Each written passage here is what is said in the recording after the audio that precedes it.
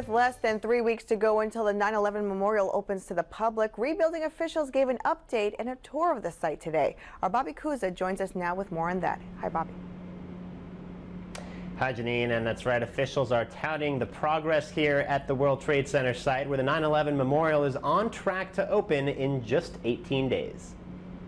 Up close, it could be any other construction site. Pull away, and you'll see the ambitious scope of the 9 11 memorial, with twin reflecting pools set in the footprints of the Twin Towers, fed by waterfalls. Finishing touches are now being applied. Grass was recently laid, and a new public service announcement is being launched. The 9 11 memorial will honor my partner and the officers who responded that morning. It's for my brother. And my 343 brothers who didn't make it.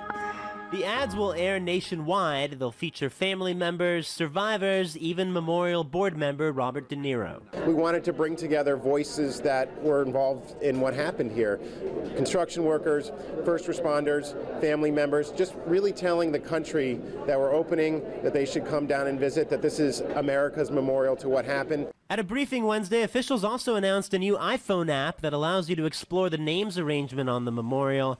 And while the below ground